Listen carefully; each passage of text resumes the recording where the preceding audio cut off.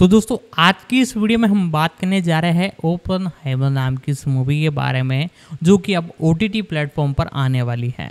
जी हाँ दोस्तों, ये जो मूवी है टोटल मूवी की लेंथ एक घंटा थी और 8.3 की इसकी रेटिंग थी और साथ ही साथ रेड टमाटोज पर 93 परसेंट की इसकी रेटिंग थी और साथ ही साथ 90 परसेंट भी और कई प्लेटफॉर्म पर रेटिंग रही है। यानी ज़बरदस्त रेटिंग के साथ ये मूवी रिलीज़ हो रही है अब ओ टी प्लेटफॉर्म पर। और इंडिया के अंदर इसके जो राइट्स है और वर्ल्ड वाइड जो राइट है, वो जियो सिनेमा ने खरीदे हैं। तो आज ये, कल के दिन ये एक तरह से फुल्ली रिलीज़ की जाएगी, एक तरह से जियो सिनेमा पर। तो उसके बारे में आज मैं आपको थोड़ी और जानकारी देता हूँ इस वीडियो ओपेनहाइमर एक 2023 महाकाव्य जीवनी थ्रिलर फ़िल्म है एक क्रिस्टोफर नोलन द्वारा लिखित, निर्देशित और सह निर्मित आठ, यह अमेरिकी सैद्धांतिक भौतिक विज्ञानी जे. रॉबर्ट ओपेनहाइमर के जीवन पर आधारित है, जिन्होंने द्वितीय विश्व युद्ध के दौरान पहले परमाणु हथियार विकसित करने में मदद की थी। कैई बड और मार्टिन जे. शेरविन की 2005 की जीवनी अमेरिकन प्रोमेथियस पर आधारित ये फ़िल्म ओपेनहाइमर की पढ़ाई लॉस अलामोस प्रयोगशाला में उनके निर्देशन और उन्नीस सौ चौवन की सुरक्षा सुनवाई के कारण उनके पतन का सिलियन मफी ओपेनहाइमर की भूमिका में हैं। उनके साथ रॉबर्ट डाउनी जूनियर संयुक्त राज्य परमाणु ऊर्जा आयोग के सदस्य लुइस स्ट्रॉस की भूमिका में हैं।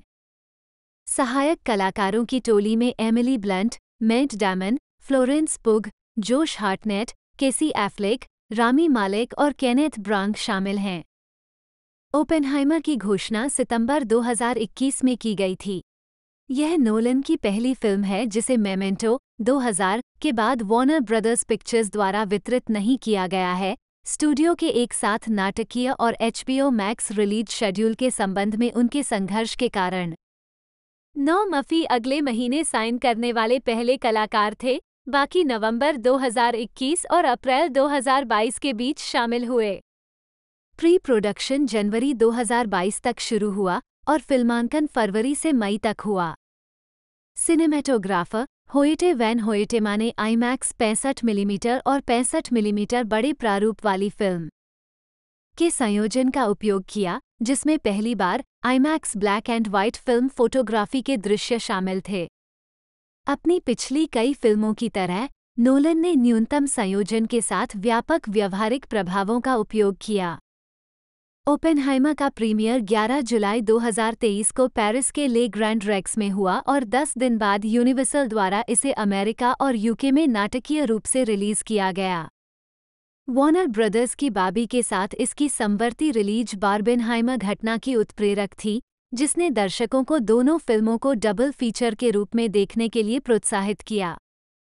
ओपेनहाइमा ने दुनिया भर में नौ डॉलर मिलियन से अधिक की कमाई की जो 2023 की तीसरी सबसे ज़्यादा कमाई करने वाली फ़िल्म बन गई, सबसे ज़्यादा कमाई करने वाली द्वितीय विश्व युद्ध स। संबंधित फ़िल्म, सबसे ज़्यादा कमाई करने वाली जीवनी फ़िल्म और दूसरी सबसे ज़्यादा कमाई करने वाली आर रेटेड फ़िल्म बन गई। अपनी कई प्रशंसाओं के बीच ओपेनहाइमा ने सात अकादमी पुरस्कार जीते, जिनमें सर्वश्रेष्ठ फ़िल्म, सर्वश्रेष्ठ निर्देशक मफी के लिए सर्वश्रेष्ठ अभिनेता और डाउनी के लिए सर्वश्रेष्ठ सहायक अभिनेता शामिल हैं। फ़िल्म ने पाँच गोल्डन ग्लोब पुरस्कार, सर्वश्रेष्ठ मोशन पिक्चर ड्रामा सहित और सात ब्रिटिश अकादमी फ़िल्म पुरस्कार, सर्वश्रेष्ठ फ़िल्म सहित जीते और इसे नेशनल बोर्ड ऑफ़ रिव्यू और अमेरिकन फ़िल्म इंस्टीट्यूट द्वारा 2023 की शीर्ष 10 फ़िल्मों में से एक नामित किया गया। कथानक 1926 में 22 वर्षीय डॉक्टरेट छात्र जे रॉबर्ट ओपेनहाइमर कैम्ब्रिज विश्वविद्यालय में कैवेंडिश प्रयोगशाला में पैट्रिक ब्लैकेट के तहत प्रायोगिक क्वांटम भौतिकी का अध्ययन करते समय चिंता और घर की याद से जूझ रहे थे। ब्लैकेट के रवैये से परेशान होकर ओपेनहाइमर ने उसके लिए साइनाइड जहर वाला एक सेब छोड़ दिया, लेकिन बाद में उसे पुनः प्राप्त कर लिया। विजिटिंग वैज्ञानिक नील्स बोहर ने ओपेनहाइमर को इसके बजाय गोटिंगेन विश्वविद्यालय में सैद्धांतिक भौतिकी का अध्ययन करने की सलाह दी। ओपेनहाइमर ने अपनी पीएचडी पूरी की और वैज्ञानिक इसिडोर इसाक रबी से मुलाकात की। बाद में वे स्विट्जरलैंड में सैद्धांतिक भौतिक विज्ञानी वना हाइजनबर्ग से मिले। अमेरिका में क्वांटम भौतिकी अनुसंधान का विस्तार करने की इच्छा रखते हुए ओपेनहाइमर ने कैलिफ़ोर्निया विश्वविद्यालय बर्कले और कैलिफ़ोर्निया इंस्टीट्यूट ऑफ़ टेक्नोलॉजी में पढ़ाना शुरू किया। वह एक जीव विज्ञानी और पूर्व कम्युनिस्ट कैथरीन किट्टी पुएनिंग से शादी करता है और एक परेशान कम्युनिस्ट मनोचिकित्सक जीन टैटलॉक के साथ उसका रुक रुक कर संबंध रहता है, जो बाद में आत्महत्या करके मर जाता है। जब 1938 में जर्मनों द्वारा परमाणु को विभाजित करने में सफलता प्राप्त करने के बाद परमाणु विखंडन की खोज की गई तो ओपेनहाइमर को एहसास हुआ कि इसे हथियार बनाया जा सकता है। 1942 में द्वितीय विश्व युद्ध के दौरान, मैनहट्टन प्रोजेक्ट के निदेशक, अमेरिकी सेना के कर्नल लेस्ली ग्रोव्स, परमाणु बम विकसित करने के लिए ओपेनहाइमर को लॉस अलामोस प्रयोगशाला के निदेशक के रूप में भर्ती करते हैं। ओपेनहाइमर को डर है कि हाइजेनबर्ग के नेतृत्व में जर्मन परमाणु अनुसंधान कार्यक्रम, नाजियों के लिए विखंडन बम पैदा कर सकता है। ओपेनहाइमर रबी, हंस बैथे और एडवर्ड टेलर की एक टीम को इकट्ठा करता है और शिकागो विश्वविद्यालय में वैज्ञानिकों एनरिको फर्मी, लियो सैलाड और डेविड एल हिल के साथ सहयोग करता है। टेलर की गणना से पता चलता है कि एक परमाणु विस्फोट एक विनाशकारी श्रृंखला प्रतिक्रिया को ट्रिगर कर सकता है जो वायुमंडल को प्रज्वलित करेगा और दुनिया को नष्ट कर देगा। एल्बर्ट आइंस्टीन से परामर्श करने के बाद ओपेनहाइमर ने निष्कर्ष निकाला कि संभावनाएँ स्वीकार्य रूप से कम हैं। हाइड्रोजन बम बनाने का प्रस्ताव खारिज होने के बाद ट। लर ने परियोजना छोड़ने का प्रयास किया, लेकिन ओपेनहाइमर ने उसे रुकने के लिए मना लिया। 1945 में जर्मनी के आत्मसमर्पण के बाद कुछ वैज्ञानिकों ने बम की प्रासंगिकता पर सवाल उठाया। ओपेनहाइमर का मानना है कि इससे चल रहे प्रशांत युद्ध का अंत हो जाएगा और मित्र देशों की जान बच जाएगी। ट्रिनिटी परीक्षण सफल रहा और राष्ट्रपति हैरी एस. ट्रूमैन ने हिरोशिमा और नागासाकी पर परमाणु बमबारी का आदेश दिया, जिसके परिणामस्वरूप जापान को आत्मसमर्पण करना पड़ा।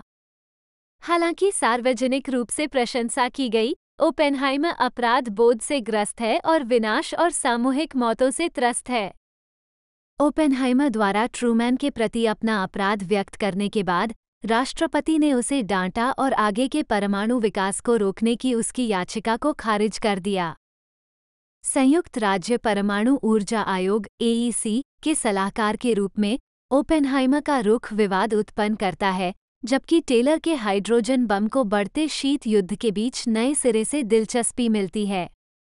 एईसी के अध्यक्ष लुई स्ट्रॉस रेडियो आइसोटोप के निर्यात के बारे में स्ट्रॉस की चिंताओं को सार्वजनिक रूप से खारिज करने और सोवियत संघ द्वारा सफलतापूर्वक अपना बम विस्फोट करने के बाद सोवियत संघ के साथ बातचीत की सिफारिश करने के लिए ओपेनहाइमर से नाराज़ हैं।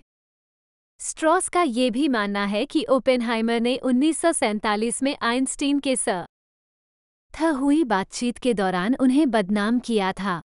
उन्नीस सौ चौवन में ओपेनहाइमर के राजनीतिक प्रभाव को खत्म करने की इच्छा से, स्ट्रॉस ने गुप्त रूप से ओपेनहाइमर की क्यू मंजूरी के संबंध में एक कार्मिक सुरक्षा बोर्ड के समक्ष एक निजी सुरक्षा सुनवाई आयोजित की, जिसके दौरान अमेरिका के प्रति उनकी वफादारी पर सवाल उठाया गया। हालाँकि, सुनवाई दिखावा ट्रायल है। ओपेनहाइमर के पिछले कम्युनिस्ट संबंधों का शोषण किया गया है और उनके सहयोगियों की गवाही को उनके खिलाफ तोड़ मरोड़ कर पेश किया गया है। किट्टी द्वारा अपने और अपने पति के बचाव में भावुक गवाही देने के बाद बोर्ड को आ। ब. ओपेनहाइमर पर विश्वासघात का संदेह नहीं है, लेकिन उसकी मंजूरी रद्द कर दी गई, जिससे उनकी सार्वजनिक छवि को नुकसान पहुँचा और अमेरिकी परमाणु नीति पर उनका प्रभाव सीमित हो गया। उन्नीस सौ उनसठ में वाणिज्य सचिव के लिए स्ट्रॉस की सीनेट की पुष्टि की सुनवाई के दौरान, हिल ने ओपेनहाइमर के पतन के लिए स्ट्रॉस के व्यक्तिगत उद्देश्यों के बारे में गवाही दी। स्ट्रॉस के नामांकन को खारिज कर दिया गया, मैसाचुसेट्स के junior senator John F Kennedy ने निर्णायक वोट डाला। उन्नीस में राष्ट्रपति लिंडन बी. जॉनसन ने राजनीतिक पुनर्वास के संकेत के रूप में ओपेनहाइमर को एंड्रिको फर्मी पुरस्कार प्रदान किया। एक फ्लैशबैक से पता चलता है कि ओपेनहाइमर और आइंस्टीन की 1947 की बातचीत में स्ट्रॉस का कभी उल्लेख नहीं किया गया था। इसके बजाय, दोनों ने ओपेनहाइमर की विरासत पर चर्चा की और ओपेनहाइमर ने अपना डर व्यक्त किया कि उन्होंने वास्तव में एक श्रृंखला प्रतिक्रिया, परमाणु हथियारों की दौड़ शुरू कर दी है, जो एक दिन दुनिया को नष्ट कर देगी। जैसे ही आइंस्टीन चले गए ओपेनहाइमर ने परमाणु आग से भस्म हो चुकी दुनिया की कल्पना की और निराशा में अपनी आँखें बंद कर लीं। ढालना। 2017 में सड़सठवें बलिन अंतर्राष्ट्रीय फ़िल्म महोत्सव में द पार्टी के लिए एक प्रेस कॉन्फ्रेंस में अभिनेता Cillian Murphy. Los Alamos National Laboratory के पहले निदेशक जे रॉबर्ट ओपेनहाइमर का पोर्ट्रेट। सिलियन मफी ने जे रॉबर्ट ओपेनहाइमर की भूमिका निभाई है। जे, रॉबर्ट ओपेनहाइमर के रूप में सिलियन मफी, एक सैद्धांतिक भौतिक विज्ञानी और लॉस अलामोस प्रयोगशाला के निदेशक। दस। कैथरीन किट्टी ओपेनहाइमर के रूप में एमिली ब्लंट, रॉबर्ट ओपेनहाइमर की पत्नी और कम्युनिस्ट पार्टी यूएसए की पूर्व सदस्य। ग्यारह। Matt Damon general Leslie Groves के रूप में United States Army Corps of Engineers USACE अधिकारी और मैनहट्टन प्रोजेक्ट के निदेशक। बारह। Robert Downey junior, rear admiral Lewis Strauss के रूप में एक सेवानिवृत्त नौसेना रिज़र्व अधिकारी और अमेरिकी परमाणु ऊर्जा आयोग एईसी के उच्च पदस्थ सदस्य। बारह। जीन टेटलॉक, एक मनोचिकित्सक, कम्युनिस्ट पार्टी यूएसए के सदस्य और रॉबर्ट ओपेनहाइमर की रोमांटिक रुचि के रूप में फ्लोरेंस पुग। तेरह। अनेस्ट लॉरेंस के रूप में जोश हार्टनेट, एक नोबेल विजेता परमाणु भौतिक विज्ञानी, जिन्होंने कैलिफ़ोर्निया विश्वविद्यालय, बर्कले में ओपेनहाइमर के साथ काम किया था। चौदह पंद्रह। केसी एफ्लेक बोरिस पाश के रूप में, एक अमेरिकी सेना के सैन्य खुफिया अधिकारी और अल्सोस मिशन के कमांडर। सोलह। डेविड एल हिल के रूप में रामी मालिक, मेट लैब में एक परमाणु भौतिक विज्ञानी जिन्होंने शिकागो पाइल बनाने में मदद की। तेरह। नील्स बोर के रूप में केनेथ ब्रांग, नोबेल विजेता डैनिश भौतिक विज्ञानी, दार्शनिक और ओपेनहाइमर के निजी आदर्श। सत्रह। एडवर्ड टेलर के रूप में बेनी सफ़ी, एक हंगरी के सैद्धांतिक भौतिक विज्ञानी, जिन्हें हाइड्रोजन बम के जनक के रूप में जाना जाता है। तेरह। रोजर रॉब के रूप में जेसन क्लार्क एक वकील और भावी अमेरिकी सर्किट न्यायाधीश, जिन्होंने ओपेनहाइमर की सुरक्षा सुनवाई में एईसी के विशेष वकील के रूप में कार्य किया। अठारह, फ्रैंक ओपेनहाइमर के रूप में डायलन आर्नोल्ड, रॉबर्ट के छोटे भाई और एक कण भौतिक विज्ञानी जिन्होंने मैनहट्टन प्रोजेक्ट पर काम किया था। उन्नीस, एल्बर्ट आइंस्टीन के रूप में टॉम कोंटी नोबेल विजेता जर्मन सैद्धांतिक भौतिक विज्ञानी जो सापेक्षता के सिद्धांत को विकसित करने के लिए जाने जाते हैं बीस पैट्रिक ब्लैकेट के रूप में James D'Arcy Oppenheimer college के प्रोफेसर और कैम्ब्रिज विश्वविद्यालय में नोबेल विजेता भौतिक विज्ञानी 21. जेसीए के एक वकील और कार्यकारी निदेशक विलियम एल बोर्डन के रूप में David Dastmalchian 22. Major general Kenneth Nichols के रूप में डैन डेहान, एक अमेरिकी सेना अधिकारी और मैनहट्टन परियोजना के उप जिला इंजीनियर 23. संयुक्त राज्य अमेरिका के वाणिज्य सचिव के लिए स्ट्रॉस के नामांकन के दौरान लुईस स्ट्रॉस के सीनेट सहयोगी के रूप में एल्डन एहनेरिच चौबीस, पच्चीस, गॉर्डन ग्रे के रूप में टोनी गोल्डविन एक सरकारी अधिकारी और ओपेनहाइमर सुरक्षा मंजूरी को रद्द करने का निर्णय लेने वाली समिति के अध्यक्ष। छब्बीस। हाकोन शेवेलियर, होक, के रूप में जेफरसन हॉल, बर्कले के एक प्रोफेसर जो विश्वविद्यालय में ओपेनहाइमर के दोस्त बन गए। सत्ताईस अट्ठाईस।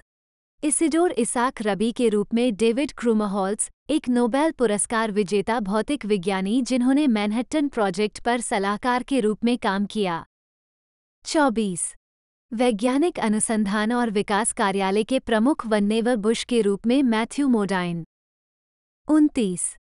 लुईस स्ट्रॉस के वकील के रूप में स्कॉट ग्रिम्स तीस। Thomas A. मॉर्गन के रूप में कट कोहलर एक उद्योगपति और स्पैरी कॉरपोरेशन के बोर्ड के पूर्व अध्यक्ष, जो ओपेनहाइमर की सुरक्षा मंजूरी सुनवाई में पैनल के सदस्यों में से एक थे। इकतीस बत्तीस। Ward we. इवांस के रूप में जॉन गोवंस एक रसायनज्ञ और शिक्षाविद, जिन्होंने ओपेनहाइमर की सुरक्षा मंजूरी सुनवाई में पैनल के सदस्यों में से एक के रूप में कार्य किया। तैंतीस। लॉर्ड के। गैरिसन के रूप में मैकॉन ब्लेयर, एक वकील जिसने सुरक्षा मंजूरी सुनवाई में ओपेनहाइमर का प्रतिनिधित्व करने में मदद की। चौंतीस। सीनेट वाणिज्य समिति के अध्यक्ष सेनेटर वॉरेन मैग्नसन के रूप में ग्रेगरी जबारा। चौंतीस। सेन गेल डब्ल्यू मैग्गी के रूप में हैरी ग्रोनर चौंतीस। सेनेटर जॉन पास्टर के रूप में टिम डेके चौंतीस। मैथियास श्वेघोफर वनर हाइजेनबर्ग के रूप में एक जर्मन नोबेल पुरस्कार विजेता भौतिक विज्ञानी, जिन्होंने द्वितीय विश्व युद्ध के दौरान देश के परमाणु हथियार कार्यक्रम में काम किया था। पैंतीस छत्तीस। लुइस वाल्टर अल्वारेस के रूप में एलेक्स वोल्फ एक नोबेल विजेता भौतिक विज्ञानी जिन्होंने मैनहट्टन प्रोजेक्ट पर काम किया था। सैंतीस। गियोवन्नी रॉसी लोमनिट्स के रूप में जोश जकमैन, एक भौतिक विज्ञानी जो बर्कले में ओपेनहाइमर का शिष्य बन गया। अड़तीस। हाटलैंड स्नाइडर के रूप में रोरी कीन, एक भौतिक विज्ञानी, जिन्होंने धूल कण क्षेत्र के गुरुत्वाकर्षण पतन की गणना करने के लिए ओपेनहाइमर के साथ सहयोग किया। तैंतीस। रॉबर्ट सर्बर के रूप में माइकल अंगारानो, एक भौतिक विज्ञानी जिन्होंने मैनहट्टन प्रोजेक्ट पर काम किया था। चौदह। जैकी ओपेनहाइमर, फ्रैंक की पत्नी और रॉबर्ट की भाभी के रूप में एम्मा ड्यूमोंट उनतालीस। George C. एल्टनटन के रूप में गाय बनेट, अमेरिका में एक केमिकल इंजीनियर जिसका संबंध सोवियत संघ से है। चालीस। रुथ टोलमैन के रूप में लुइस लॉम्बार्ड परमाणु बम के विकास के दौरान ओपेनहाइमर के करीबी एक मनोवैज्ञानिक। इकतालीस। रिचर्ड सी। टॉलमन के रूप में टॉम जेंकिंस, रूथ के पति और मैनहट्टन प्रोजेक्ट पर जनरल ग्रोव्स के मुख्य वैज्ञानिक सलाहकार। बयालीस। एडवर्ड कोंडोन के रूप में ओली हास्किवी, एक परमाणु भौतिक विज्ञानी जिन्होंने रडा के विकास में मदद की और कुछ समय के लिए मैनहट्टन परियोजना में भाग लिया। उन्नीस। डोनाल्ड हॉनिक के रूप में डेविड रिस्डाहल, एक रसायनज्ञ जो लॉस अलामोस में फायरिंग यूनिट में काम करता था। तैतालीस। केनेथ बैनब्रिज के रूप में जोश पैक, एक भौतिक विज्ञानी जो मैनहट्टन प्रोजेक्ट के ट्रिनिटी परमाणु परीक्षण के निदेशक थे। चौवालीस। रिचर्ड फैनमैन के रूप में जैक क्वैद, एक अमेरिकी नोबेल विजेता सैद्धांतिक भौतिक विज्ञानी, जिन्होंने लॉस अलामोस में सैद्धांतिक प्रभाग में काम किया था। पैंतालीस। हंस बैथे के रूप में गुस्ताफ स्कासगढ़, एक जर्मन अमेरिकी नोबेल विजेता, सैद्धांतिक भौतिक विज्ञानी और लॉस अलामोस में सैद्धांतिक प्रभाग के प्रमुख। छियालीस। कट गोडेल के रूप में जेम्स अर्बानियाक, एक ऑस्ट्रियाई तर्कशास्त्री और गणितज्ञ, जो अपने प्रमेयों के लिए जाने जाते हैं, जिन्होंने गणित में क्रांति ला दी और दर्शन और कंप्यूटर विज्ञान के लिए दूरगामी प्रभाव डाले। चौंतीस। जॉर्ज किटियांकवस्की के रूप में ट्रोन फॉसा, एक हार्वर्ड प्रोफेसर जिन्होंने मैनहट्टन प्रोजेक्ट में भाग लिया था। सैतालीस। सेठ नेडरमेयर के रूप में डेवोन बोसिक, एक भौतिक विज्ञानी जिन्होंने म्यून की खोज की और ट्रिनिटी टेस्ट में इस्तेमाल किए जाने वाले विस्फोट प्रकार के परमाणु हथियार की वकालत की। अड़तालीस। एनरिको फर्मी के रूप में डैनी डेफरारी एक इतालवी नोबेल विजेता, भौतिक विज्ञानी और शिकागो पाइल के निर्माता। चालीस। क्लाउस फुचस के रूप में क्रिस्टोफर डेनहम, एक जर्मन मूल के भौतिक विज्ञानी, जिन्होंने मैनहट्टन प्रोजेक्ट पर काम किया और सोवियत संघ के लिए जासूसी की। तीस। चार्लोट सर्बर के रूप में Jessica Erin Martin, Los Alamos में प्रमुख तकनीकी लाइब्रेरियन। उनचास। जे. अनेस्ट विल्किंस जूनियर के रूप में रोनल्ड अगस्टे, एक अफ्रीकी अमेरिकी परमाणु वैज्ञानिक, मैकेनिकल इंजीनियर और गणितज्ञ, जिन्होंने मैनहट्टन प्रोजेक्ट पर ओपेनहाइमर के साथ काम किया था। उनचास। माटे हाउमैन हुलियो सैलाड के रूप में एक हंगरी के भौतिक विज्ञानी जिन्होंने 1933 में परमाणु श्रृंखला प्रतिक्रिया के विचार की कल्पना की थी और बाद में जुलाई 1945 में मैनहट्टन परियोजना की शिकागो शाखा में जापान पर परमाणु हथियारों के अघोषित उपयोग के खिलाफ राष्ट्रपति ट्रूमैन को याचिका प्रसारित की। 50. ओलिविया थर्बी लिली हॉनिक के रूप में एक चैक अमेरिकी वैज्ञानिक जिन्होंने मैनहट्टन प्रोजेक्ट पर काम किया था। इक्यावन। लायल जॉनसन के रूप में जैक कटमोर स्कॉट, बर्कले में एक सुरक्षा अधिकारी जो मैनहट्टन प्रोजेक्ट में काम करता था। चौंतीस। फिलिप मॉरिसन के रूप में हैरिस गिलबर्टसन एक भौतिकी प्रोफेसर जिन्होंने मैनहट्टन प्रोजेक्ट पर काम किया था। उनतालीस। हेनरी स्टिम्सन के रूप में जेम्स रेमर राष्ट्रपति ट्रूमैन के अधीन युद्ध सचिव। चौंतीस। जॉर्ज सी मार्शल के रूप में विल रॉबर्ट्स उन्नीस सौ उनतालीस से 1945 तक संयुक्त राज्य अमेरिका के सेना प्रमुख रहे। James F. बायंस अमेरिकी विदेश मंत्री और दक्षिण कैरोलिना के भावी गवर्नर के रूप में पैट स्किपर। चौंतीस. Harry S. ट्रूमैन के रूप में गैरी ओल्डमैन, संयुक्त राज्य अमेरिका के तैंतीसवें राष्ट्रपति जिन्होंने अगस्त 1945 में हिरोशिमा और नागासाकी पर दो परमाणु बम गिराने का निर्णय लिया था। बावन। संयुक्त राज्य अमेरिका के छत्तीसवें राष्ट्रपति लिंडन बी। जॉनसन के रूप में हाप लॉरेंस। चौंतीस। जोसेफ डब्ल्यू कैनेडी के रूप में ट्रॉय ब्रोन्सन, प्लूटोनियम की खोज में सहायक रसायनज्ञ और लॉस अलामोस में रसायन विज्ञान विभाग के प्रमुख। तिरपन। सितंबर 2021 तक, रोवेन और नोलन दोनों ने स्क्रिप्ट पर चर्चा करने के लिए बड और शेरविन से संपर्क करना शुरू कर दिया था। नोलन के साथ बड की पहली मुलाकात के दौरान, जब उन्होंने स्क्रिप्ट की सामग्री पर चर्चा की तो उन्होंने पहले ही एक विशिष्ट स्क्रिप्ट लिखी थी, हालाँकि नोलन ने अभी तक उन्हें स्क्रिप्ट का खुलासा नहीं किया था। इकहत्तर ओपेनहाइमर नोलन द्वारा प्रथम पुरुष में लिखी गई पहली पटकथा है क्योंकि वह चाहते थे कि कथा को ओपेनहाइमर के दृष्टिकोण से व्यक्त किया जाए। उन्होंने इसे एक सावधान करने वाली कहानी ब। अनाने के इरादे से फ़िल्म की बनावट का वर्णन कैसे ऐतिहासिक और भू राजनीतिक के साथ व्यक्तिगत बातचीत के रूप में किया। पाँच छः सात दो सात तीन टेनेट पूरा करने के बाद उन्होंने स्क्रिप्ट विकसित करना शुरू किया और कुछ ही महीनों में इसे लिख लिया वो बीस वर्षों से अधिक समय से ओपेनहाइमर के बारे में एक फ़िल्म बनाने के बारे में सोच रहे थे। छप्पन। कथानक का एक प्रमुख तत्व ओपेनहाइमर की उसके कार्यों के दीर्घकालिक परिणामों पर प्रतिक्रिया है। नोलन विलंबित प्रतिक्रियाओं की घटना का पता लगाना चाहते थे, क्योंकि उन्हें लगा कि लोगों को इस समय उनके कार्यों के सबसे मज़बूत या सबसे खराब तत्वों का सामना करना आवश्यक नहीं है। उनहत्तर उन्होंने कहानी को क्रमशः व्यक्तिपरक और वस्तुनिष्ठ दोनों दृष्टिकोणों से व्यक्त करने के लिए रंगीन और काले और सफ़ेद दृश्यों के बीच वैकल्पिक रूप से चयन किया।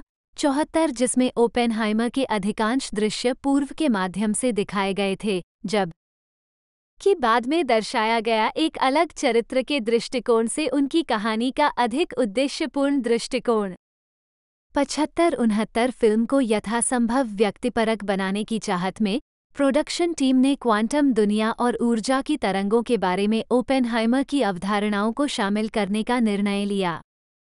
छिहत्तर नोलन ने कहा कि हालाँकि ओपेनहाइमर ने हिरोशिमा और नागासाकी के परमाणु बम विस्फोटों में अपनी भूमिका के लिए कभी भी सार्वजनिक रूप से माफ़ी नहीं मांगी, फिर भी उनका मानना था कि ओपेनहाइमर ने अपने कार्यों के लिए वास्तविक अपराधबोध म महसूस किया था और इस तरह उन्हें उन भावनाओं को प्रदर्शित करने के रूप में चित्रित किया। सतहत्तर। मुझे लगता है कि अब तक मैंने जितने भी किरदारों से निपटा है, ओपेनहाइमर उनमें से सबसे अस्पष्ट और विरोधाभासी है। ये देखते हुए कि मैंने तीन बैटमैन फ़िल्में बनाई हैं, बहुत कुछ कहती है। क्रिस्टोफर नोलन, टोटल फ़िल्म सत्तर। नोलन ने क्वांटम क्षेत्र ऊर्जा के कंपन और ओपेनहाइमर की अपनी निजी यात्रा को जोड़ने वाले धागे को खोजने की कोशिश से शुरुआत की और उनके जीवन में आने वाली कठिनाइयों को चित्रित करने की कोशिश की, खासकर उनके यौन जीवन के संबंध में। सत्तावन इस प्रकार, नोलन जीन टेटलॉक के साथ अपने संबंध को स्पष्ट रूप से चित्रित करना चाहते थे। वह ओपेनहाइमर के जीवन पर टेटलॉक के प्रभाव का भी पता लगाना चाहते थे, क्योंकि वह एक कम्युनिस्ट थी। जिसका ओपेनहाइमर के बाद के जीवन और उनके अंतिम भाग्य पर भारी प्रभाव पड़ा। अठहत्तर नोलन ने ओपेनहाइमर और अमेरिकी परमाणु ऊर्जा आयोग के पूर्व अध्यक्ष एडमिरल लुइस स्ट्रॉस के बीच संबंधों का पता लगाने की भी कोशिश की, जो वोल्फगैंग एमेडियस मोजार्ट और एंटोनियो सालियरी के बीच संबंधों से प्रेरित थे, जैसा कि एमेडियस उन्नीस सौ चौरासी में दर्शाया गया है। उनहत्तर फ़िल्म का एक और महत्वपूर्ण क्षण वह बैठक थी जिसमें राष्ट्रपति हैरी एस. ट्रूमैन ने ओपेनहाइमर को क्रायबाबी कहा था। नोलन इस दृश्य को ओपेनहाइमर के दृष्टिकोण से व्यक्त करना चाहते थे और उन्होंने महसूस किया कि यह मोहभंग का एक बड़ा क्षण था। ओपेनहाइमर के लिए वह जिस चीज़ में शामिल थे उसके परिणामों से निपटने की कोशिश में उनके दृष्टिकोण में एक बड़ा मोड़ था। जबकि यह भी इस बात पर ज़ोर देते हुए कि यह ओपेनहाइमर की धारणा की वास्तविकता के बारे में धारणा में एक बड़ा बदलाव है। छप्पन व हिरोशिमा और नागासाकी के परमाणु बम विस्फोटों के बाद एक त्वरित टोनल बदलाव को अंजाम देना चाहते थे। स्क्रीन समय की सबसे कम मात्रा में उच्चतम विजयीवाद, उच्चतम ऊंचाई से सबसे कम निम्न तक जाने की इच्छा रखते थे। तिहत्तर अंत के लिए नोलन ने व्याख्या के लिए इसे जानबूझकर अस्पष्ट बनाने का विकल्प चुना और अपने काम में उपदेशात्मक होने या विशिष्ट संदेश देने से परहेज किया। हालाँकि, उनका इरादा अंत में परेशान करने वाली प्रतिध्वनि का एक मज़बूत सेट प्रस्तुत करने का था। सतहत्तर। ढलाई। ओपेनहाइमर, नोलन और मफी के बीच छठा सहयोग है और मफी की मुख्य भूमिका वाली पहली फ़िल्म है। भूमिका की तैयारी के लिए मफी ने ओपेनहाइमर के जीवन के बारे में विस्तार से पढ़ा और 1970 के दशक में डेविड बॉवी की उपस्थिति से प्रेरित हुए।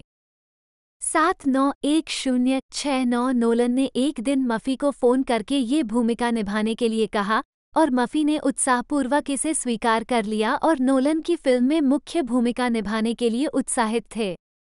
इसके बाद नोलन मफी से मिलने के लिए डबलिन गए, जिन्होंने नोलन के होटल के कमरे में स्क्रिप्ट टैप पड़ी अस्सी इस भूमिका के लिए मफी ने अज्ञात मात्रा में वज़न कम किया ताकि वह वास्तविक जीवन के ओपेनहाइमर की दुबली पतली उपस्थिति से बेहतर ढंग से मेल खा सके। इक्यासी नोलन ने मफी और नोबेल पुरस्कार विजेता किप थॉन के बीच एक फ़ोन कॉल भी स्थापित की, जिन्होंने पहले नोलन के साथ इंटरस्टेलर 2014 में काम किया था। छप्पन एक स्नातक छात्र के रूप में थॉन ने ओपेनहाइमर के कुछ सेमिनारों में भाग लिया था और कठिन वैज्ञानिक अवधारणाओं की समूह चर्चा को सुविधाजनक बनाने के लिए ओपेनहाइमर के उपहार के साथ मफी को अपने अनुभव के बारे में बताया था। छप्पन। कास्टिंग प्रक्रिया इतनी गुप्त थी कि कुछ कलाकारों को ये पता नहीं था कि वे कौन सी भूमिका निभाएँगे जब तक कि उन्होंने साइन नहीं कर लिया। सैंतीस Robert Downey junior Matt Damon और एमिली ब्लंट ने फ़िल्म में काम करने के लिए वेतन में कटौती की। प्रत्येक ने अपने सामान्य 10 डॉलर 20 मिलियन अग्रिम वेतन के बदले 4 डॉलर मिलियन कमाए। बयासी डाउनी स्क्रिप्ट पढ़ने के लिए नोलन के घर गए, जो लाल कागज़ पर काले रंग में छपी थी। तिरासी डाउनी ने बाद में ओपेनहाइमर को सर्वश्रेष्ठ फ़िल्म के रूप में वर्णित किया, जिसमें वो आज तक दिखाई दिए हैं। चौरासी ब्लंट की मुलाकात नोलन से लॉस एंजल्स में हुई और जब उन्हें कैथरीन किट्टी ओपेनहाइमर की भूमिका की पेशकश की गई तो उन्होंने उत्साहपूर्वक इसे स्वीकार कर लिया, नोलन के साथ काम करना कैसा होगा, ये जानने के लिए उसने मफी से भी संपर्क किया। तिरासी लेस्ली ग्रोव्स की भूमिका निभाने के लिए कहा गया, डैमन जो नोलन के इंटरस्टेलर में दिखाई दिए थे कपलस थेरेपी में अपनी पत्नी के साथ बातचीत के परिणामस्वरूप अभिनय से ब्रेक ले रहे थे लेकिन उन्होंने ओपेनहाइमर पर हस्ताक्षर किए क्योंकि उन्होंने एक अपवाद आरक्ष तय रखा था, यदि नोलन ने उन्हें किसी फ़िल्म में भूमिका की पेशकश की। पिचासी निर्देशक पॉल थॉमस एंडरसन से लिकोरिस पिज्जा 2021 में सफ़ी को निर्देशित करने के उनके अनुभव के बारे में पूछने के बाद नोलन ने लेखक निर्देशक बेनी सफ़ी को भौतिक विज्ञानी एडवर्ड टेलर के रूप में चुना। छियासी सफ़ी ने हाई स्कूल के दौरान कोलंबिया विश्वविद्यालय में एक परमाणु भौतिक विज्ञानी के साथ काम किया था। उनहत्तर इंसोमनिया 2002 के बाद यह नोलन की पहली फ़िल्म है जिसमें माइकल केन नहीं है। सतासी फिल्माने। फिल्मांकन मई 2022 में कैलिफ़ोर्निया विश्वविद्यालय, बर्कले में हुआ। प्री प्रोडक्शन जनवरी 2022 तक न्यू मैक्सिको में शुरू हो गया था। जहाँ स्थानीय निवासियों सैन्य कर्मियों और वैज्ञानिकों की भूमिका निभाने के लिए लोगों के ऑडिशन के लिए सांताफे और लॉस अलामोस में दो दिवसीय कास्टिंग कॉल हुई थी। अठासी नवासी एक और कास्टिंग कॉल फरवरी में आयोजित की गई थी। नब्बे। मुख्य फोटोग्राफी 28 फरवरी 2022 को न्यू मैक्सिको के घोस्ट रैंच में शुरू हुई, इक्यानवे और सत्तावन दिनों तक चली, जिसमें होइटे वैन होइटेमा ने छायाकार के रूप में काम किया। इक्यासी चौबीस मूल शूटिंग शेड्यूल में फिल्मांकन के लिए लगभग पिचासी दिन अलग रखे गए थे। बानवे, हालाँकि प्री प्रोडक्शन के दौरान ये स्पष्ट हो गया था कि पूरे संयुक्त राज्य अमेरिका में इतने दिनों में प्रमुख फोटोग्राफी 100 मिलियन डॉलर के भीतर पूरी नहीं की जा सकती थी। बानवे, कैलिफ़ोर्निया और न्यू जर्सी में स्थान शूटिंग के लिए बजट का कुशलतापूर्वक उपयोग करने। और न्यू मैक्सिको में उच्च गुणवत्ता वाले ऐतिहासिक रूप से सटीक सेट का निर्माण करने के लिए नोलन ने शूटिंग शेड्यूल को पिचासी से घटाकर सत्तावन दिन कर दिया। बानवे तिरानवे मफी, जो लगभग हर दृश्य में दिखाई देते हैं, ने गति को पागल बताया। बानवे।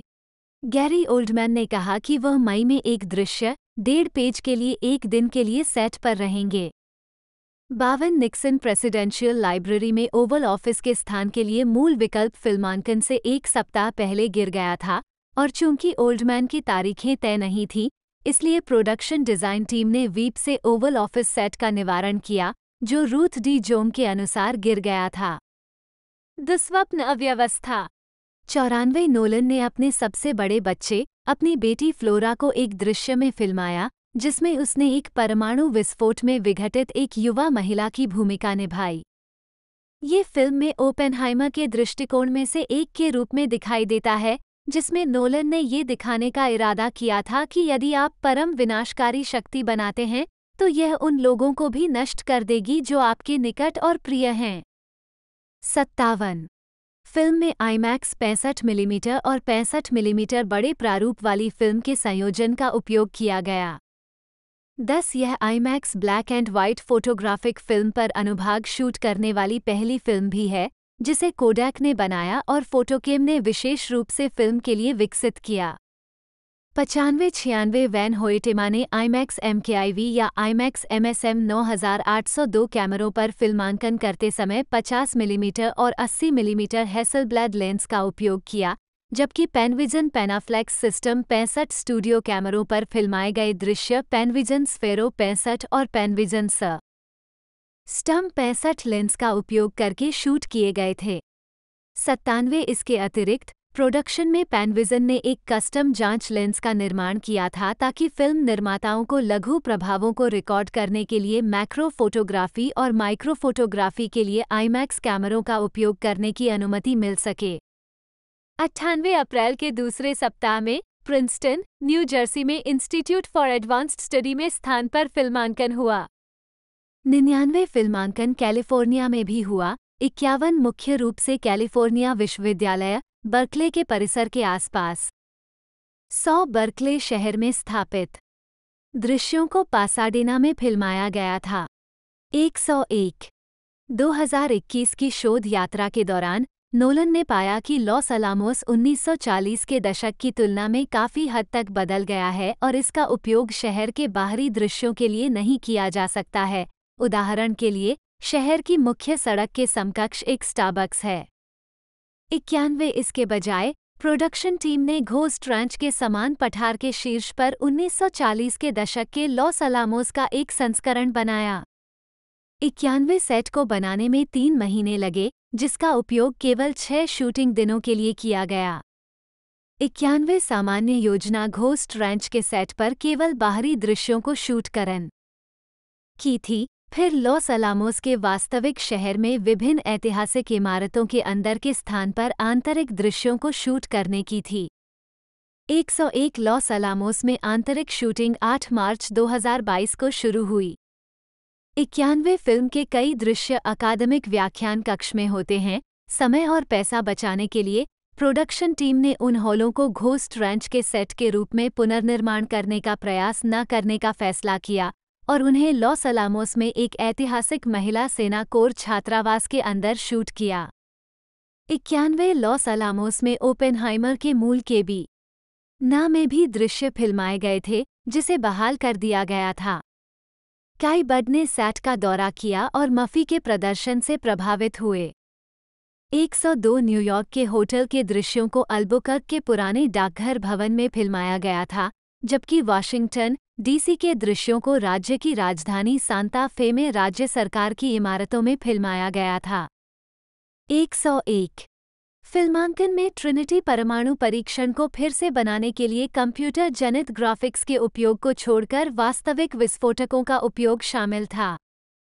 103 जब ये खबर पहली बार ऑनलाइन आई तो कई प्रशंसकों, नोलन की कैमरे के अंदर व्यवहारिक प्रभावों के लिए प्रसिद्ध प्राथमिकता के बारे में पता था, ने सोचा कि इसका मतलब है कि उसने एक वास्तविक परमाणु बम विस्फोट किया है। दो नोलन ने बाद में टिप्पणी की कि यह चापलूसी और डरावना दोनों था कि उनके प्रशंसक उनके बारे में ऐसा सोचेंगे। दो production team White Sands Missile Range में फ़िल्म बनाने के लिए सरकारी अनुमति प्राप्त करने में सक्षम थी, लेकिन केवल अत्यधिक असुविधाजनक घंटों में और इसलिए इस दृश्य को न्यू मैक्सिको रेगिस्तान में कहीं और फिल्माने का विकल्प चुना।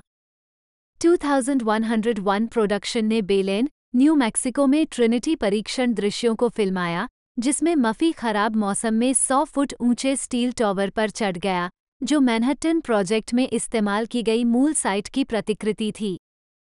2101 एक विशेष सेट बनाया गया था, जिसमें विस्फोटक प्रभाव पैदा करने के लिए गैसोलीन, प्रोपेन, एल्यूमिनियम पाउडर और मैग्नीशियम का उपयोग किया गया था। सत्तावन हालाँकि उन्होंने व्यवहारिक प्रभाव के लिए लघुचित्रों का उपयोग किया, विशेष प्रभाव पर्यवेक्षक, स्कॉट आर. फिशर ने उन्हें बड़े अचर के रूप में संदर्भित किया, क्योंकि विशेष प्रभाव टीम ने मॉडलों को यथासंभव भौतिक रूप से बड़ा बनाने की कोशिश की थी। मॉडलों को उनके इच्छित वास्तविक आकार के करीब दिखाने के लिए टीम ने मजबूर परिप्रेक्ष्य का उपयोग किया। 104,105 परमाणुओं अणुओं और ऊर्जा तरंगों के बीच परस्पर क्रिया के दृश्य साथ ही तारों ब्लैक होल और सुपनोवा का चित्रण भी व्यवहारिक तरीकों से हासिल किया गया था। नोलन ने दावा किया कि फ़िल्म में कोई कंप्यूटर जनित प्रभाव नहीं है 106 और वास्तविक दुनिया की कल। पना प्राप्त करने के लिए व्यवहारिक प्रभावों का उपयोग किया गया है। 107 फिल्मांकन मई 2022 में पूरा होगा। 108 डाक उत्पादन। संपादन जेनिफर लेम द्वारा पूरा किया गया, जिन्होंने पहले टेनेट का संपादन किया था। दस संपादन के दौरान फुटेज का निरीक्षण करते समय, नोलन और लेम ने ये सुनिश्चित करने के लिए कैरेक्टर पास का प्रदर्शन किया कि सभी पात्रों को स्क्रीन पर ठीक से प्रदर्शित किया जाए क्योंकि फ़िल्म की गति अधिकांश पारंपरिक ब्लॉकबस्टर की तुलना में तेज थी। उनहत्तर दृश्य प्रभावों को डीएनईजी द्वारा नियंत्रित किया गया, जिसने 400 से अधिक व्यवहारिक रूप से शूट किए गए तत्वों से 100 से अधिक वीएफएक्स शॉट्स का उत्पादन किया 109 जो नौ। लन के साथ उनके आठवें सहयोग को चिन्हित करता है। एंड्रू जैक्सन दृश्य प्रभाव पर्यवेक्षक थे 110 जिन्होंने कहा कि फ़िल्म में सेट पर बनाए गए इन कैमरा विशेष प्रभावों के माध्यम से ज़्यादातर अदृश्य दृश्य प्रभावों का उपयोग किया गया था। 111 विस्फोट में बहु परतें जोड़ने के लिए ट्रिनिटी दृश्य के लिए डिजिटल कंपोजिटिंग का उपयोग किया गया था, जिसे एक बहुआयामी दृष्टिकोण में शूट किया गया था। 112 स्टीवन स्पीलबर्ग इसके पहले 70 मिलीमीटर प्रिंट की एक निजी स्क्रीनिंग में अंतिम कट देखने वाले पहले व्यक्ति थे। नोलन ने कहा उन्होंने कुछ बहुत दयालु बातें कहीं लेकिन वास्तव में सिर्फ़ उन्हें देखते हुए देखने के लिए। मुझे उनके साथ इसे देखना भी नहीं चाहिए था लेकिन महान गुरु को देखते हुए देखना? यह एक तरह से अनूठा था। 113,114 संगीत। मुख्य लेख, Oppenheimer sound track Ludwig Goransson ने सर्वश्रेष्ठ मूल स्कोर के लिए अकादमी पुरस्कार जीता। नोलन की पिछली फ़िल्म, टेनेट के लिए ऐसा करने के बाद, लुडविग गोरानसन ने फ़िल्म के लिए स्कोर तैयार किया। दस गोरानसन का स्कोर 8 मई 2023 को फ़िल्म के ट्रेलर में दिखाया गया था। 115 इसे 13 जुलाई को यूनिवर्सल पिक्चर्स के विशेष पाँच मिनट के ओपनिंग लुक में भी दिखाया गया था। 116,117 नोलन ने उन्हें सलाह दी थी फ़िल्म में ओपेनहाइमर के केंद्रीय विषय के लिए वायलिन का उपयोग करने के लिए। गोरानसन ने टिप्पणी की कि उन्हें लगा कि यह एक सेकंड में सबसे रोमांटिक सुंदर स्वर से विक्षिप्त और दिल दहला देने वाली ड। रावनी आवाज़ तक जा सकता है। उनहत्तर। मुक्त करना। विपणन। ओपेनहाइमर का टीजर ट्रेलर 28 जुलाई 2022 को जारी किया गया था, जिसमें 16 जुलाई 2023 को सुबह पाँच, उनतीस बजे एमडीटी की लाइव उल्टी गिनती दिखाई गई थी, जो परमाणु हथियार के पहले विस्फोट की अठहत्तरवीं वर्षगांठ थी। यूनिवर्सल के सोशल मीडिया प्रोफ़ाइल पर ऑनलाइन पोस्ट किए जाने से पहले इसका प्रीमियर नोप की स्क्रीनिंग में किया गया था। 118 एम्पायर ने टिप्पणी की कि यह नोलन की शैली का अनुकरणीय है, वज़न की वास्तविक भावना के साथ मादक, चिंतनशील सामग्री। 119 दिसंबर 2022 में, अवतार, द वे ऑफ़ वाटर के सामने दो ट्रेलरों का प्रीमियर हुआ, जिनमें से एक आईमैक्स थिएटरों के लिए विशेष था और दूसरा अन्य सभी प्रारूपों में दिखाया गया था। बाद वाले को अंततः ऑनलाइन जारी किया गया। 120,121 मई 2023 में Guardians of the Galaxy volume की पूर्वावलोकन स्क्रीनिंग के दौरान एक आधिकारिक मुख्य ट्रेलर की शुरुआत हुई। तीन। बाद में इसे 8 मई 2023 को एक नाटकीय रिलीज़ पोस्टर के साथ जनता के लिए जारी किया गया। ओपेनहाइमर ने छियानवेवें अकादमी पुरस्कारों में अग्रणी तेरह नामांकन अर्जित किए जो नोलन की सबसे अधिक ऑस्कर नामांकित फ़िल्म बन गई। 245,246,247 समारोह में फ़िल्म ने सर्वश्रेष्ठ फ़िल्म सर्वश्रेष्ठ निर्देशक मफी के लिए सर्वश्रेष्ठ अभिनेता डाउनी के लिए सर्वश्रेष्ठ सहायक अभिनेता सर्वश्रेष्ठ छायांकन सर्वश्रेष्ठ फ़िल्म संपादन और सर्वश्रेष्ठ मूल स्कोर का पुरस्कार जीता। 248 संगीतकार गोरानसन के अलावा सभी प्राप्तकर्ता पहली बार ऑस्कर विजेता थे जिनमें Nolan Thomas, Roven, Murphy, Downey और वैन होएटेमाश। मिल थे, जिन्होंने पिछले अकादमी पुरस्कार नामांकन अर्जित किए थे। दो सौ उनचास ओपेनहाइमर 2003 की The Lord of the Rings, The Return of the King के बाद सबसे अधिक कमाई करने वाली सर्वश्रेष्ठ पिक्चर के विजेता बन गए। 250 फ़िल्म को ब्लंट के लिए सर्वश्रेष्ठ सहायक अभिनेत्री, सर्वश्रेष्ठ रूपांतरित पटकथा, सर्वश्रेष्ठ ध्वनि सर्वश्रेष्ठ प्रोडक्शन डिज़ाइन, सर्वश्रेष्ठ पोशाक डिज़ाइन और सर्वश्रेष्ठ मेकअप और हेयर स्टाइल के लिए भी नामांकित किया गया था। ओपेनहाइमर का विश्व प्रीमियर 11 जुलाई 2023 को पेरिस के ले ग्रैंड रेक्स में हुआ 123 इसके बाद 13 जुलाई को लंदन के ओडियन लक्स लिसेस्टर स्क्वायर में ब्रिटिश प्रीमियर हुआ 124 और न्यू में एएमसी लिंकन स्क्वायर 13 में अमेरिकी प्रीमियर हुआ। 17 जुलाई को यॉर्क सिटी। 125 एसएजीएएफटीआरए की हड़ताल से लंदन और न्यूयॉर्क दोनों प्रीमियर प्रभावित हुए, क्योंकि कुछ कलाकार लंदन प्रीमियर जल्दी छोड़कर चले गए। 124 और यूनिवर्सल पिक्चर्स ने न्यूयॉर्क के लिए रेड कारपेट कार्यक्रम रद्द कर दिया। प्रीमियर 125 एसएजीएएफटीआरए के अध्यक्ष फ्रेंड ड्रेश ने बाद में दावा किया कि स्टूडियो ने ओपेनहाइमर जैसी ग्रीष्मकालीन फ़िल्मों को बढ़ावा देने के लिए बातचीत के लिए 12 दिन के विस्तार को स्वीकार करने में गिल्ड को धोखा दिया।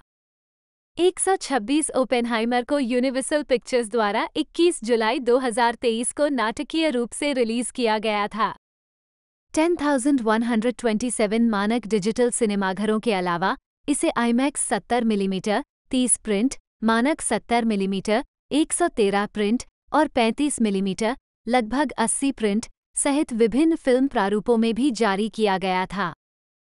128 ये फ़िल्म उसी दिन रिलीज़ हुई थी, जिस दिन बाबी रिलीज़ हुई थी, जो ग्रेटा गेरविक द्वारा निर्देशित एक फैंटेसी कॉमेडी फ़िल्म थी जो मेटल की बाबी फ़ैशन डॉल्स और मीडिया फ्रेंचाइजी पर आधारित थी और वॉर्नर ब्रदर्स द्वारा वितरित की गई थी।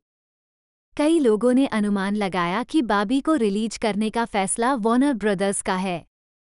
उसी दिन जब नोलन द्वारा यूनिवर्सल के साथ फ़िल्म रिलीज़ करने के प्रतिशोध के रूप में ओपेनहाइमर की टिकट बिक्री को कम करने के लिए ओपेनहाइमर बनाया गया था। एक सौ उनतीस दोनों फ़िल्मों के बीच टोन और शैली की असंग। के कारण, कई सोशल मीडिया उपयोगकर्ताओं ने इस बारे में मीम्स बनाए कि कैसे दोनों फ़िल्मों ने अलग अलग दर्शकों को आकर्षित किया 130 और उन्हें दोहरी विशेषता के रूप में कैसे देखा जाना चाहिए। 131 इस प्रवृत्ति को बाबेनहाइमर करार दिया गया था 132 और इसे मनोरंजन उद्योग मंदी की गर्मियों के दौरान काउंटर प्रोग्रामिंग के रूप में लेबल किया गया था। 133 सिलियन मफी ने इस घटना का समर्थन करते हुए कहा था, मेरी सलाह है कि लोग दोनों को एक ही दिन देखने जाएँ। यदि वे अच्छी फ़िल्में हैं तो ये सिनेमा का लाभ है। एक मार्च 2022 में यूनिवर्सल पिक्चर्स ने रूस में अपने शीर्षकों की रिलीज़ रोक दी। फरवरी 2022 में यूक्रेन पर आक्रमण के बाद देश के बहिष्कार में अन्य प्रमुख अमेरिकी फ़िल्म वितरकों में शामिल हो गए। 135 रूस के संस्कृति मंत्रालय ने भी ओपेनहाइमर पर प्रतिबंध लगा दिया था, जिसने ये कहते हुए फ़िल्म की स्क्रीनिंग का लाइसेंस देने से इनकार कर दिया था कि यह पारंपरिक रूसी आध्यात्मिक मूल्यों को संरक्षित और मज़बूत करने के उनके लक्ष्यों को पूरा नहीं करती है। 136 ये फ़िल्म अपनी आरंभिक वैश्विक रिलीज़ के बाद कई महीनों तक जापान में रिलीज़ नहीं हुई। वैरायटी ने हिरोशिमा और नागासाकी पर परमाणु बमबारी के कारण जापान में विवादास्पद प्रतिष्ठा का उल्लेख किया। यूनिवर्सल के एक प्रवक्ता ने कहा कि सभी बाजारों में योजनाओं को अंतिम रूप नहीं दिया गया है। अमेरिकी फ़िल्में अक्सर प्रारंभिक नाटकीय रिलीज़ के कुछ महीनों बाद जापान में रिलीज़ की जाती हैं। 137 दिसंबर 2023 में स्वतंत्र जापानी फ़िल्म वितरक बिटर्स एंड ने घोषणा की कि वह 2024 तक फ़िल्म को नाटकीय रूप से रिलीज़ करेगा। क्योंकि जापान के प्राथमिक फ़िल्म वितरक तोहो टोबा ने इसे रिलीज़ नहीं करने का विकल्प चुना। एक तीन आठ, एक तीन नौ, दो चार जनवरी 2024 को बिटर्स एंड ने पुष्टि की कि फ़िल्म 29 मार्च को जापान में रिलीज़ होने वाली है। 140 वर्गीकरण और सेंसरशिप। संयुक्त राज्य अमेरिका में, फ़िल्म को मोशन पिक्चर एसोसिएशन से कुछ कामुकता, नग्नता और भाषा के लिए आर रेटिंग प्राप्त हुई। इंसोमनिया 2002 के बाद ये रेटिंग प्राप्त करने वाली यह नोलन की पहली फ़िल्म है। 141 ऑस्ट्रेलिया में, फ़िल्म को मज़बूत सेक्स और एक आत्महत्या दृश्य के लिए ऑस्ट्रेलियाई वर्गीकरण बोर्ड बोर्ड से एम ए फिफ्टीन जोड़ रेटिंग मिली। 142 यूनाइटेड किंगडम में फ़िल्म को British Board of Film Classification से मज़बूत भाषा और सेक्स के लिए 15 प्रमाण पत्र प्राप्त हुआ, जिसका अर्थ है कि 15 वर्ष से कम उम्र। के किसी भी व्यक्ति को फ़िल्म देखने की अनुमति नहीं दी जा सकती है। 143 मध्य पूर्व, दक्षिण एशिया और दक्षिण पूर्व एशिया सहित कुछ देशों में यूनिवर्सल ने फ़िल्म का एक संस्करण वितरित किया, जिसमें फ्लोरेंस पुग का नग्न शरीर कंप्यूटर जनित काली पोशाक से ढका हुआ था।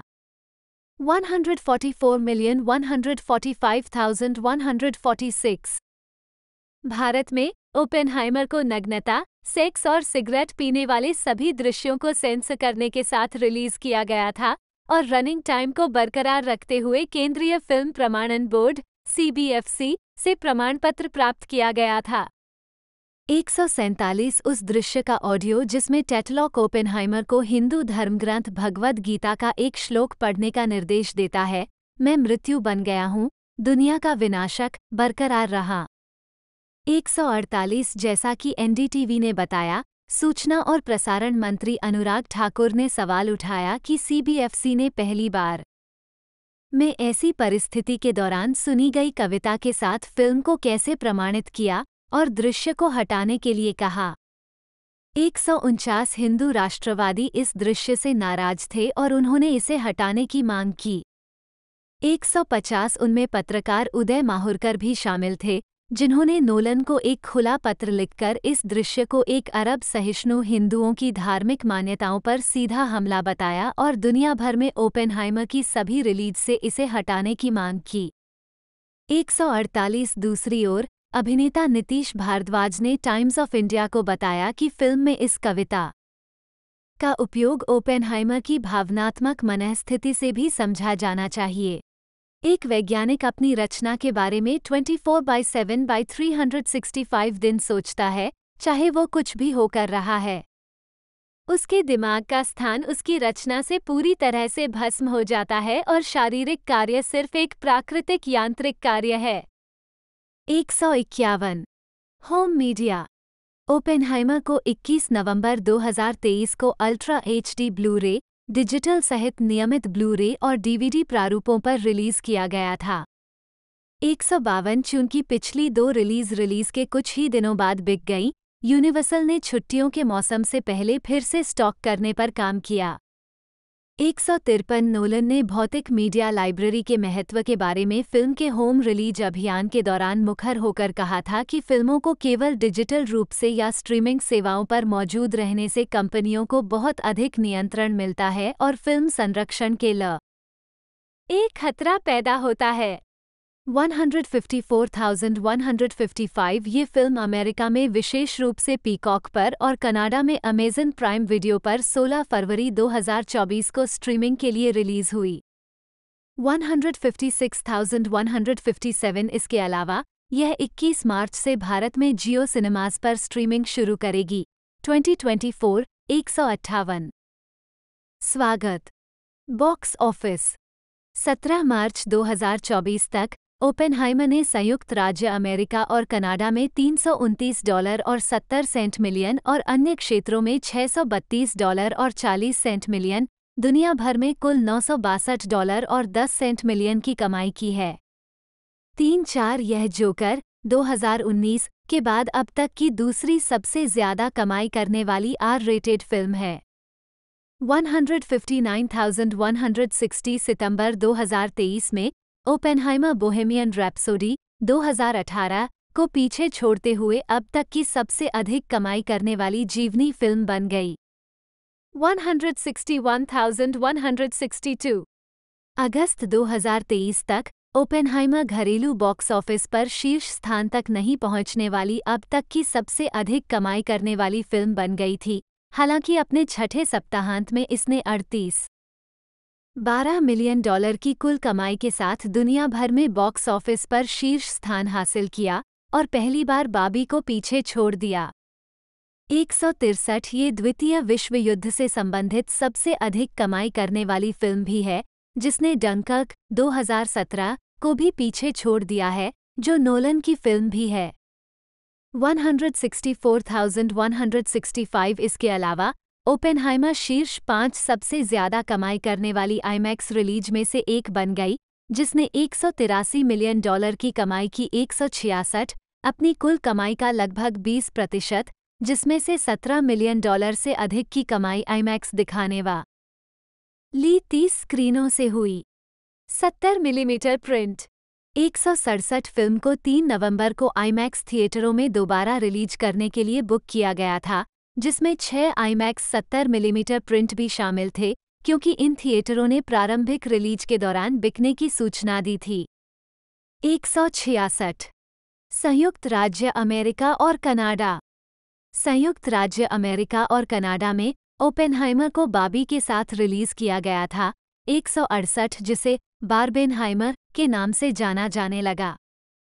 उनकी रिलीज़ के सप्ताह में एएमसी थिएटर्स ने घोषणा की कि चालीस हज़ार से अधिक एएमसी स्टब्स सदस्यों ने एक ही दिन में दोनों फ़िल्मों के टिकट पहले से ही बुक कर लिए थे।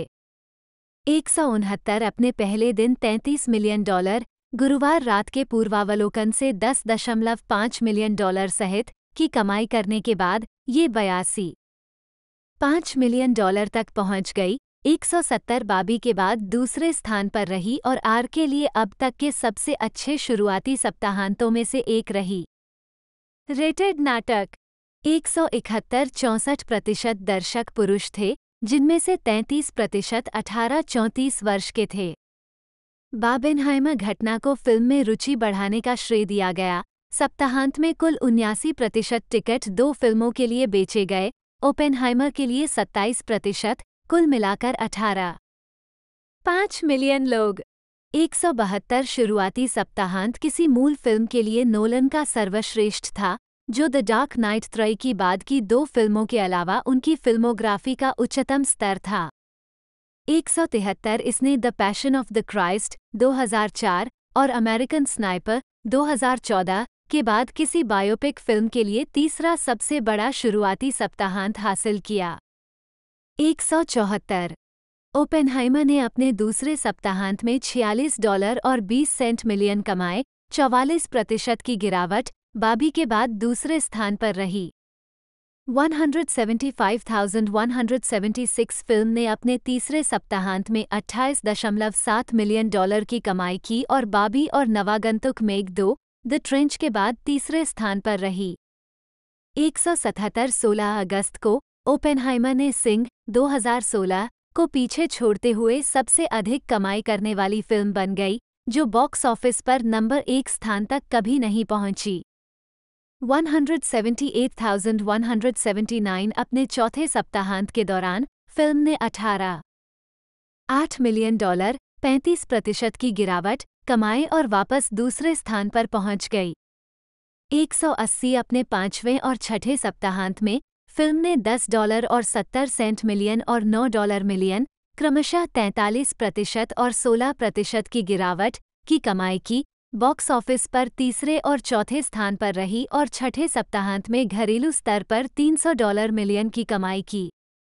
180 अपने 13 ऑस्कर नामांकनों के बाद, फ़िल्म रिलीज़ के 28वें सप्ताह में 1008 थिएटरों से बढ़कर दो थिएटरों तक पहुँच गई और एक मिलियन डॉलर की कमाई की जो पिछले सप्ताहांत से दो प्रतिशत की वृद्धि है।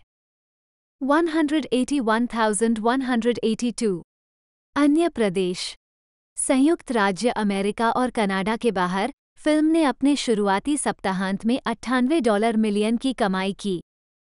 एक सौ तिरासी अगले सप्ताहांत में ओपेनहाइमर ने केवल 21 प्रतिशत की गिरावट के साथ सतहत्तर दशमलव एक मिलियन डॉलर की कमाई की और भारत सऊदी अरब संयुक्त अरब अमीरात और तुर्की सहित 30 देशों में नोलन की सबसे अधिक कमाई करने वाली फ़िल्म बन गई।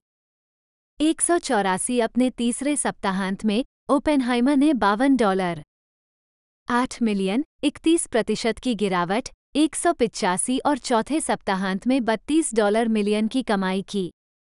एक सौ छियासी फ़िल्म ने अगले सप्ताहों में भी अच्छा प्रदर्शन जारी रखा और अपने पाँचवें और छठे सप्ताहांत में बत्तीस डॉलर मिलियन और उनतीस डॉलर और दस सेंट मिलियन की कमाई की। 187,188 10 सितंबर 2023 तक सबसे अधिक कमाई करने वाले क्षेत्र यूनाइटेड किंगडम 75 डॉलर मिलियन चीन इकसठ डॉलर और 60 सेंट मिलियन जर्मनी इक्यावन डॉलर और 90 सेंट मिलियन फ्रांस 43 डॉलर और 10 सेंट मिलियन और ऑस्ट्रेलिया 25 डॉलर्स। 9 मिलियन थे। एक सौ नवासी जापान में कई महीनों के विवाद के दौरान फ़िल्म में बम के वास्तविक प्रभावों को कम करके दिखाने की बात कही गई थी। एक सौ नब्बे उनतीस मार्च 2024 को रिलीज़ होगी। एक सौ इक्यानवे। अहमियत भरा जवाब।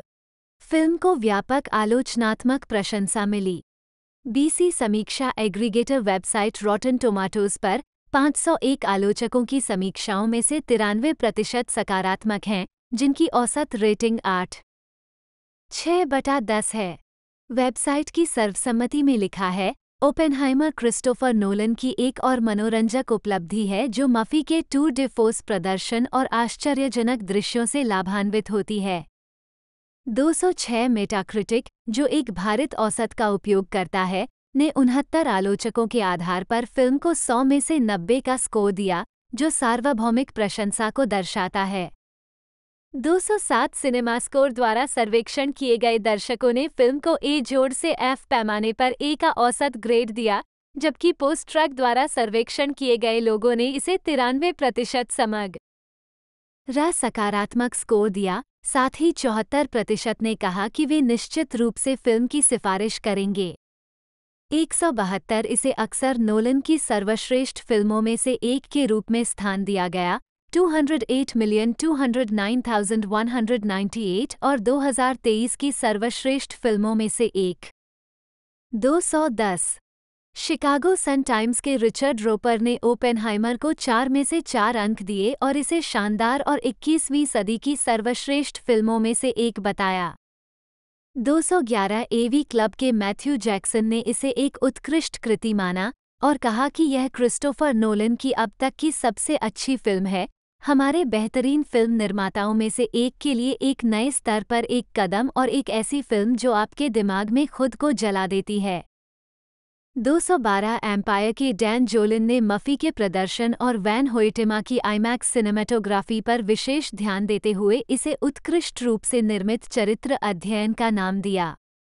213 रीजन पत्रिका के लिए लिखते हुए पीटर सुडरमैन ने कहा कि फ़िल्म दर्शकों को परमाणु बम के मद्देनजर पूर्ण परमाणु संघर्ष की भयावहता के बारे में डर और पूर्वाभास की भावना से भर देती है। मानवता महान और भयानक दोनों है।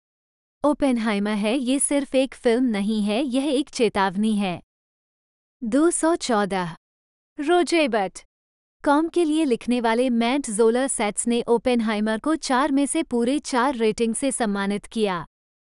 उन्होंने नोलन की कहानी कहने, ओपेनहाइमर के चरित्र की खोज और उसकी तकनीकी उपलब्धियों की सराहना करते हुए निष्कर्ष निकाला, एक भौतिक अनुभव के रूप में ओपेनहाइमर पूरी तरह से कुछ और है, ये कहना मुश्किल है कि वास्तव में क्या है और यही इसके बारे में इतना आकर्षक है।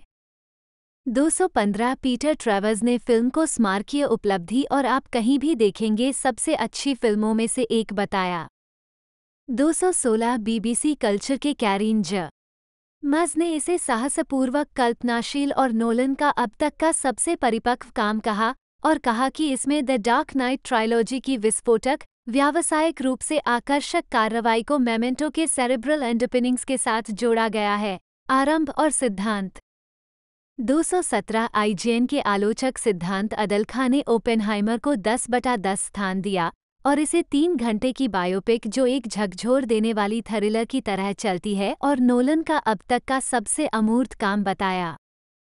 218 एनडीटीवी के सैबल चटर्जी ने फ़िल्म को पाँच में से साढ़े चार रेटिंग दी और कहा, ओपेनहाइमर, अद्भुत प्रतिभा की एक सिनेमाई उपलब्धि, दृश्य भव्यता, तकनीकी स्वभाव, भावनात्मक अंतरंगता और मानव प्रयास की सीमाओं की परीक्षा का एक उत्कृष्ट संयोजन प्राप्त करती है और महत्वाकांक्षा। 219 अगस्त 2023 में इसे कोलाइडर की 2020 के अब तक की 20 सर्वश्रेष्ठ ड्रामा मूवीज़ की सूची में तीसरे स्थान पर रखा गया, जिसमें लिखा गया कि नोलन उनके निर्माता के दृष्टिकोण से विनाशकारी परमाणु हथियारों के प्रति दुनिया के जुनून का प ता लगाता है, का उपयोग करते हुए दांते के ग्रीक मिथक इस प्रकार से एक प्रेरणा के रूप में, ओपेनहाइमर ये स्पष्ट करता है कि एक बार इस प्रकार की शक्ति प्रकट हो जाने के बाद, इसका दोबारा उपयोग किया जाना तय है। 220 फ़िल्म के विषयों और प्रदर्शनों की प्रशंसा करने के बावजूद सीएनएन के ब्रान लॉरी का मानना था कि नोलन बहुत अधिक बाजीगरी करते हैं जो कुछ हद तक फ़िल्म के लिए हानिकारक है।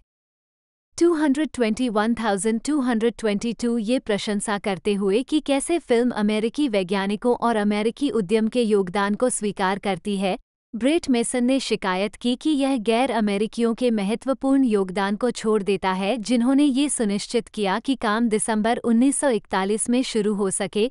नोलन ने उस महत्वपूर्ण भूमिका को पूरी तरह से नज़रअंदाज कर दिया, जो ब्रिटी शाह विज्ञान और ऑस्ट्रेलियाई भौतिक विज्ञानी मार्क ओलिफेंट ने खोज शुरू करने में निभाई थी। 223 लॉस एंजल्स टाइम्स के लिए लिखते हुए जस्टिन चांग ने नोलन के सटीक चित्रण का बचाव किया कि कैसे ओपेनहाइमर अपने काम के सच्चे पीड़ितों को नहीं देख सका। चांग ने लिखा है कि हिरोशिमा और नागासाकी की यात्रा करके प्रतिनिधित्ववादी पूर्णवादियों को संतुष्ट करने के बजाय, नोलन उन्हें गहन अनुपस्थिति, चुप्पी द्वारा अभियोग के रूप में मानते हैं। एक सौ बानवे द न्यूयॉर्कर के movie listing editor Richard Brody के अनुसार, जिन ने फ़िल्म को फैंसी एडिटिंग के साथ हिस्ट्री चैनल मूवी बताया। मैं इसे मूवी लेंथ विकिपीडिया लेख कहने के लिए उत्सुक था। लेकिन ऑनलाइन देखने के बाद मुझे एहसास हुआ कि मैं विकिपीडिया को बहुत कम श्रेय दे रहा था या फ़िल्म के लेखक और निर्देशक क्रिस्टोफर नोलन को बहुत अधिक।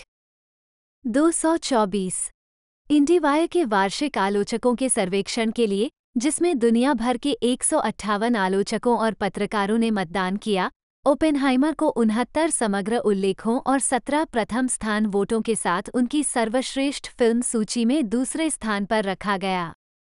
नोलन को सर्वश्रेष्ठ निर्देशक की सूची में दूसरा स्थान दिया गया, जबकि उनकी पटकथा को आठवां स्थान दिया गया।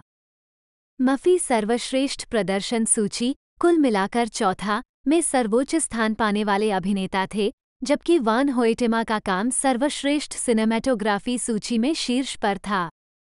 225 तो दोस्तों, इसकी रिलीजिंग डेट जैसा कि मैं आपको बताऊँ तो 21 जुलाई 2001 से 22 थी। ली ग्रेट रेक्शन में और 21 जुलाई एक से 2023 को इसे यूनाइटेड स्टेट में रिलीज़ कर दिया गया था। और साथ ही साथ यूनाइटेड किंगडम में भी और इस मूवी की लेंथ जैसा कि मैं आपको बता ही चुका हूँ, तीन घंटा प्लस है। साथ ही साथ इसका बजट तकरीबन सौ मिलियन का था और इसने लगभग नौ सौ चौंसठ मिलियन डॉलर्स का कलेक्शन किया, जो कि बहुत ही धासु है और अभी भी ये ट्रेंडिंग पर चल रही है।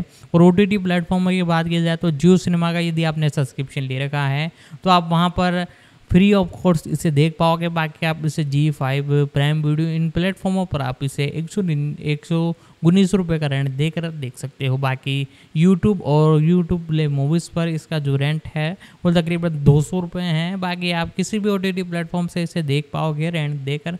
बाकी जियो सिनेमा पर आप अपने सब्सक्रिप्शन से इसे फ्री ऑफ़ कॉस्ट देख पाओगे। तो आज की इस वीडियो में मैंने इसके बारे में आपको सारी कुछ डिटेल जानकारी दी। तो वीडियो को लाइक कर दे और जी हाँ दोस्तों, जियो सिनेमा पर ये हिंदी इंग्लिश सभी लैंग्वेजों में अवेलेबल कराई जाएगी तो जगह आप जाकर सीधा वहाँ पर इसे देख पाओगे। तो दोस्तों, आज की इस वीडियो में इतना ही मिलते हैं अगले वीडियो में।